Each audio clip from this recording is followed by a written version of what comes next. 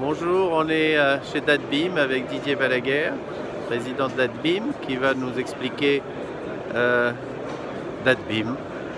Ben, bonjour, euh, donc euh, bienvenue chez Datbim.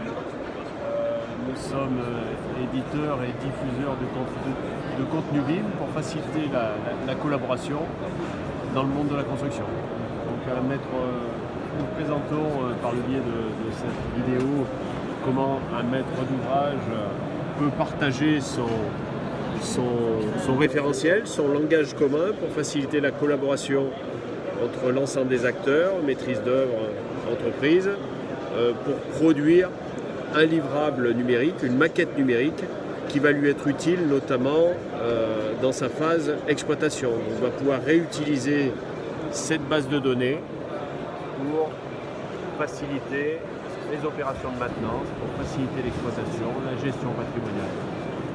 C'est un petit peu le, PLM euh, du, bâtiment.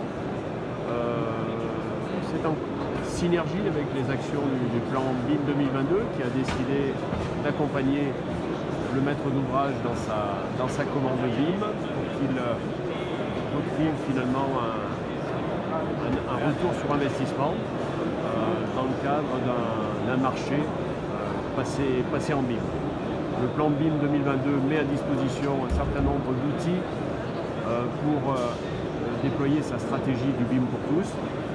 Croquis, plateforme de gestion de projet BIM, LBIM, Viewer pour visualiser les maquettes euh, IFC, croquis.mydadim.com, référentiel d'objets qui permet en phase définition d'utiliser la bibliothèque des modèles d'objets génériques BioBIM développé dans le cadre du plan de transition numérique et accéder au catalogue des fabricants qui vont pouvoir référencer gratuitement sur croquis.mydadim.com leur, leur catalogue, les rendre accessibles auprès des entreprises qui utiliseront FBIM pour finalement enrichir la maquette IFC des données produits qu'ils intégreront à leur offre et qui pourront intégrer également en phase remise du dossier d'ouvrage exécuté forme de maquette numérique utile au maître d'ouvrage.